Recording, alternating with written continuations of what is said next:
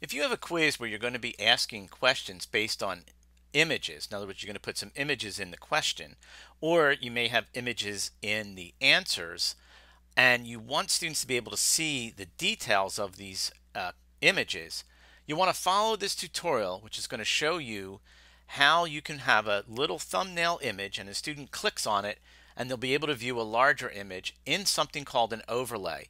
An overlay is a great tool because it does not get blo blocked by pop-up blockers. Now it's really important that you follow this tutorial step by step.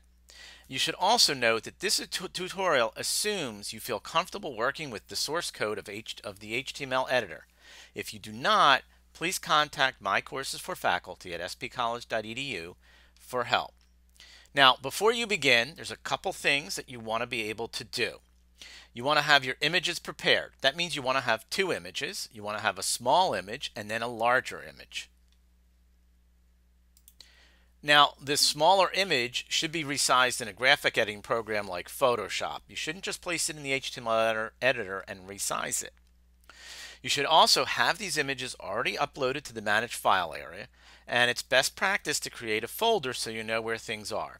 And then there's some HTML code that you're going to need to place into these uh, questions uh, and into the HTML editor. And we'll get to that in a few minutes. So now I'm going to show you what you do. The first thing you do is I'm going to go ahead and create the question. For this case, I'm just going to go ahead and create a true and false question. I'm going to then, um, within the question text area, I am going to click on the HTML editor source. I'm going to copy this little line of HTML code that begins with iframe and ends with an iframe. I'm going to copy that to my clipboard and I'm going to go ahead and paste it into the HTML editor. And I'm going to click the Save button. I'm now going to go ahead and click on the Insert Image icon. I'm going to click on Course offering files. And again, remember that it's assumed that you've already uploaded your files to the Manage File area. And you've put them in a nice orderly place so you know where everything is. You'll notice that I've named them one small, one large. I'm going to choose the small one. And I'm going to click Add. Click the checkbox next to this image is decorative and click OK. So now I'm going to click on the image itself to select it and I'm going to click on the quick link icon. I'm going to click on course files.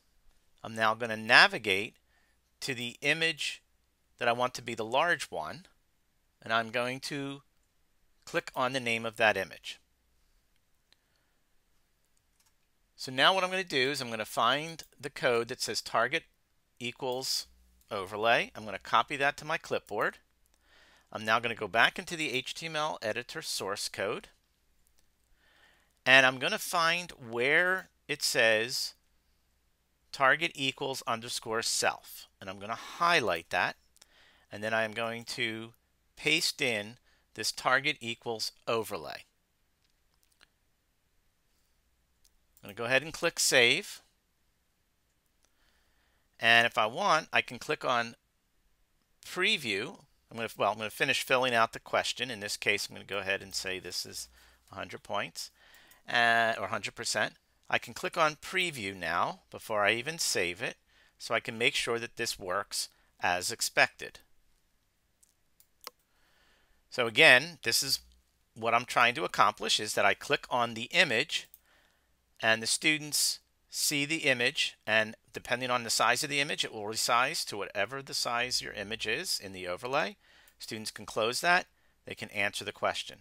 I'm going to go ahead and click done and now I'll just go ahead and click save and that is how I get my image in there and have it so that when I click on it it creates an overlay of a larger image with much more detail for the students to be able to see those details.